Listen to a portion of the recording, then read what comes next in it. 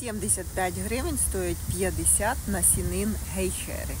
Для того, щоб виростити з насіння гейхеру, потрібно десь місяців до 5 в домашніх умовах, тому що це і стратифікація там йому, і вирощування, і про- прокльовується і тому подібне, поки воно виросле. Виросте. Дивіться, я вам пропоную по 50 гривень ось такі уже саджанці. Е, Вони можуть бути там із маленькими одросточками. Відповідно, бачите, ну так якби вони росли в ґрунті, вони б дали більший приріст.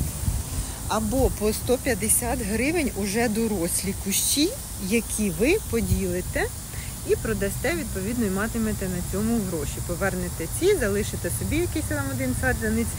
І бачите, ось які вони великі, які вони яскраві стають на осінь і на весну. Е, Гейхера дуже гарно змінює колір, свій окрас, тому влітку ну, вона геть бліда була. Ну, оця червона, вона була бліда. Ну от просто. Просто була бліда.